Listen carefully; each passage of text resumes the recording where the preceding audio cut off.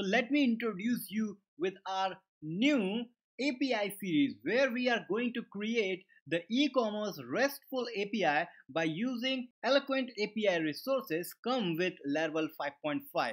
If you have created any API using Laravel, you must have used the Fractal package. But because we are on Laravel 5.5, which gives the API resources for transforming our data. But what exactly we are going to create in this series? So let's see what we are going to create by going to the Postman. So here we you can see we have three folders. One is OAuth to get the token, then the product where we can see the product, we can see a single product, we can store a product, update or destroy a product.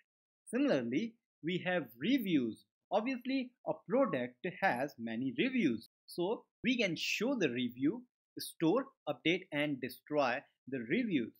So let's see some magic here. So I will go here and go to this product all. This route is API slash products. If your consumer, the API consumer will go to this route, he will get the list of the product from your website. Not only that, there is a pagination. There is 43 items per page is 5. So we can go to this route to have other products. That's cool. I think I like it. so what about uh, getting the information of single product? You can see we also have a link to get the single product detail. So the first product can be seen and its detail can be seen by going to this link. So let's see the product 2 and this is actually product show which will give the single product details. So let's send this. You can see we have details, we have ratings and obviously you can add whatever you want. Similarly, for any product, we also have many reviews. So to get the reviews for a single product, you can see another route is here. So let's go to this route, send it, and we get review ID, customer name, the name of the customer who has reviewed is, and review, whatever the review, and also the star rating he or she has given. Similarly, we can store a new product. So let's just close these things.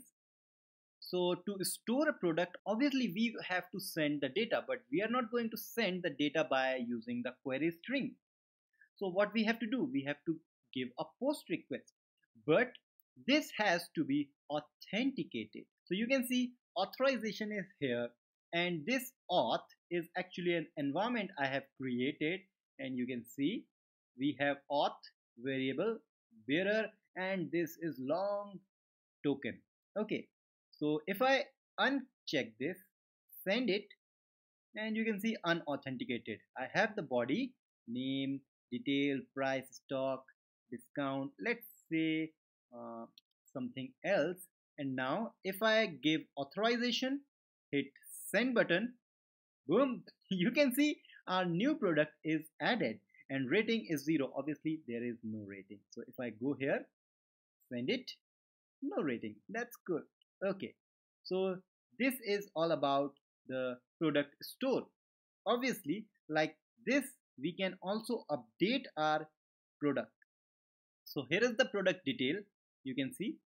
Here is the product detail. And if I want to give it product 2 test 1 and 2 then send.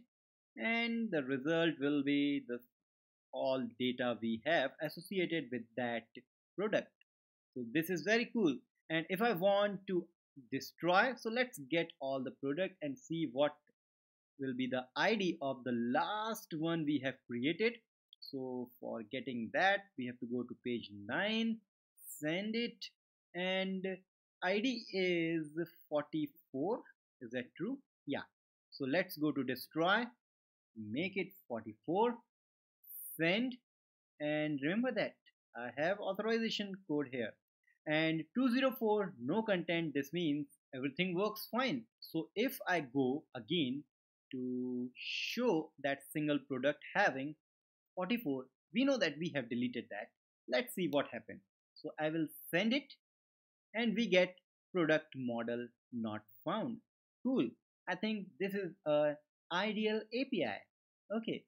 So similarly we have the details about so let me close that. And we have seen that we can see a product review by going to this route but we can also create a new review just like we have created our product.